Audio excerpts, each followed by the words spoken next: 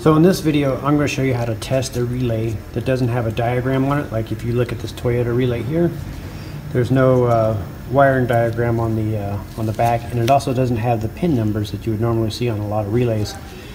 But the way we test this is, so what this uh, relay is doing is it's controlling a high amperage circuit with a low amperage circuit.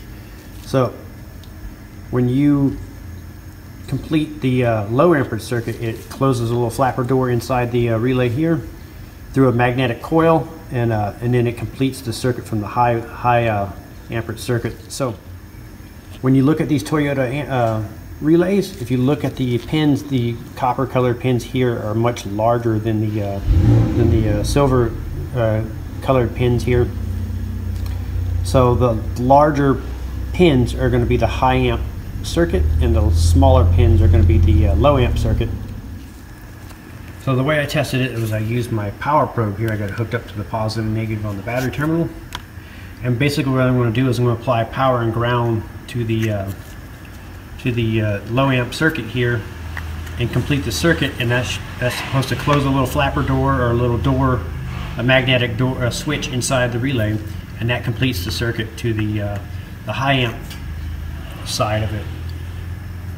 So I got my uh, test leads here hooked up to a, uh, a ohm meter on my digital ohm meter here.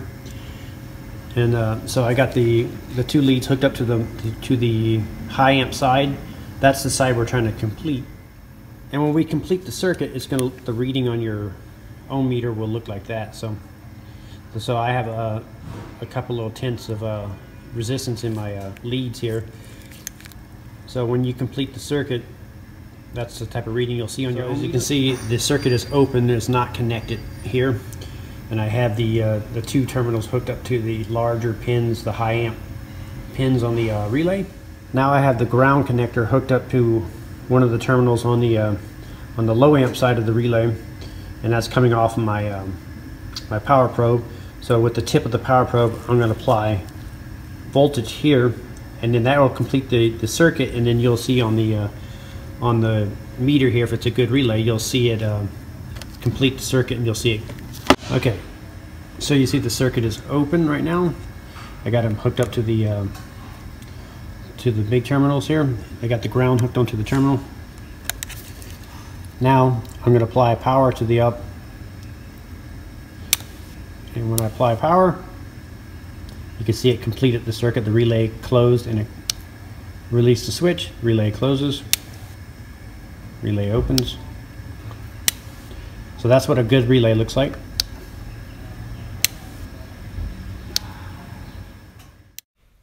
So if this was a bad relay, when you apply power and ground with the power probe, the ohm meter would read infinity like it is right now. So that's how you test a relay that doesn't have the wiring diagram printed on it and also it doesn't have the pin numbers. So I will link up in the description of the video a good ohm meter and the power probe. I'm Brian Eslick from How To Automotive. I'd like to thank you guys for watching my video. Encourage you to subscribe. Invite you to head over to the howtoautomotive.com website for more valuable videos like this. I'd like to thank you again for watching.